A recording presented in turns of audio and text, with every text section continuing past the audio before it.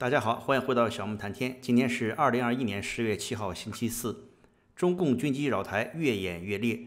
最近网络上对中共是否会选择在近期武力攻台很多讨论。拜登星期二在被记者问到有关台湾的问题时说，他与习近平通话时谈到过台湾问题，他们同意遵守台湾协议。拜登没有说明台湾协议指的是哪项协议。美国之音询问了白宫国家安全委员会。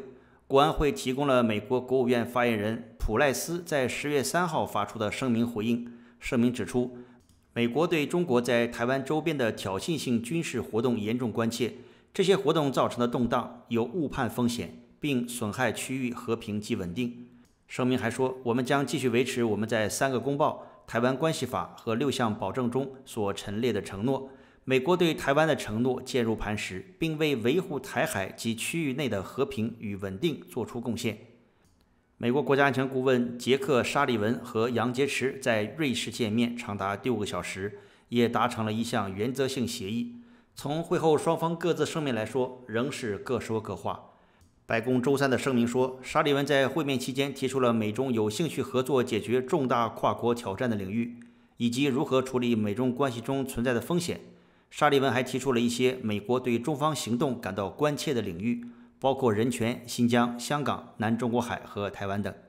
对这次会晤，知情人士说，在会晤中，苏利文对台湾议题态度非常坦率。他明确表示，美国将继续支持台湾自卫，反对任何改变现状的单边行动。从总统级别和外交级别的对话中，美国都强烈地表达了对不改变台海现状的要求。中方的所谓同意、遵守。我们也就听听，不能当真。关键要看他们在做什么。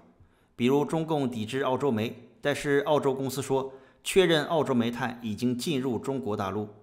根据货物跟踪系统可以看到，二零二一年七月和八月，大约有四十二万吨澳洲煤炭在中国卸货。这些煤炭是在二零二零年装船的。此外，还有五点五万吨在二零二一年七月卸货。这些货物是在二零二一年五月装船的。一些中国贸易商对路透社说，在中国港口没有清关的澳洲煤炭大约有一百万吨。其中一名北京贸易商表示，没有澳洲煤炭，中国煤炭市场的短缺还会持续一段时间。但他对中国煤炭市场并不乐观，并预计短缺的状况会一直持续到今年第四季度，甚至是到明年二三月供暖结束时。如果是这样，真的很糟糕。中国某些地区将进入寒冷的冬天模式。还得看中共在各个省市如何分配仅有的煤炭供应。嘴上说抵制，暗地里卸货。习近平说要遵守的，是不是已经变成了历史文件了呢？日本媒体援引知情人士十月五号透露，习近平在中共中央军委最近召开的一次会议上，指示中共军队增加对台湾西南地区的军事施压。习近平认为，以美国为首的民主国家在日本最南端的冲绳西南海域进行军事演习。是为了阻止北京统一台湾，也为了阻止北京获得日本控制的尖阁诸岛，大陆叫钓鱼岛。知情人士告诉共同社，在中央军委会议上，习近平说，中国应对外表现出随时准备好战斗，但实际上，大陆希望避免与美国发生正面对抗。十月一号到四号，中共在四天内共派一百四十九架军机绕台。蔡英文在美国外交杂志上发文称。即使中共军机天天扰台，我们对两岸关系的立场不变，即台湾不会屈服于压力，但也不会冒险。而在台湾局势日渐升温之际，包括澳大利亚前总理阿伯特和法国参议院友台小组主席理查也率团访问台湾，表达对台湾的支持。我个人也一直有个疑问呐：中共明知道现在打不起来，顶多是文攻武赫继续，派这么多军机出来。一架飞机起飞可是烧钱的买卖呀，到底得花多少冤枉钱呢？台湾国防安全研究所所长苏子云粗略估计，一百四十九架军机乘上平均一架次携带油量，总计约为七百四十五吨燃油，等于七十四点五万升燃油，以每升燃油约可产生二点六到三度电换算，再根据家庭用电，每户每天基本约为四度。也就是中国三口之家每天的平均用电四度多一点，这也是中国发达地区和不发达地区的大概平均数。七十四点五万升燃油约可发出二百二十三万度电力，约可提供五十五万八千七百五十户一天的基本用电。这可是很惊人的数字。如果放到不发达地区，可承担的家庭用电就更多了。看到这里，中国二十个不定时、无计划、不通知拉闸限电的省份的朋友们，晚上要点蜡烛读书学习的小孩子们，可能对军机扰台有了新的理解。谁动了你们的电？苏子云说：“按照美国国防部资料，F 十六飞一小时大约八千八百美元，俄国苏三十飞一小时约两万美元。估计除了油料，若加上人员薪资、飞机损耗零件维修等，一百四十九架次扰台，大约耗费一亿美金左右支出。”听到这里，那些被恒大暴雷和每月收入不足一千块人民币的朋友们，也对军机扰台有了些许的意见了吧？这些资源和钱只在天边写了四个大字“强国威武”，一阵清风吹过，字就不见了。在中国，纳税人是个针对百姓交钱承担义务的词。有多少人去真正问过我们纳税人的钱被用在什么地方了？问也问不着。但是有一点是肯定的：提问题的人被喝茶的时候，这个费用一定是纳税人的钱的去处。十月六号，党媒《人民日报》在头版显著位置发文。云南努力实现人与自然和谐共生，对几个月前云南西双版纳一群野象的迁徙进行煽情报道，说是响应习近平的号召保护野生动物。云南省林业和草原局动植物处处长向如武介绍，为了帮助北移亚洲象群全部安全跨过沅江南返，云南省共出动警力和工作人员二点五万多人次，无人机九百七十三架次。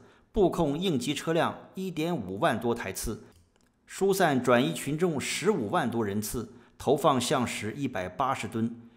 野生动物肇事公众责任保险承保公司受理亚洲象肇事损失申报案件一千五百零一件，评估定损五百一十二点五二万元。据中国官媒此前报道，云南省有四个集中连片特困地区，八十八个贫困县，二十七个深度贫困县。二零一二年，全省贫困人口超过八百八十万人。从这个典型例子可以看出啊，为了面子工程或者政绩，中共官员无所不用其极。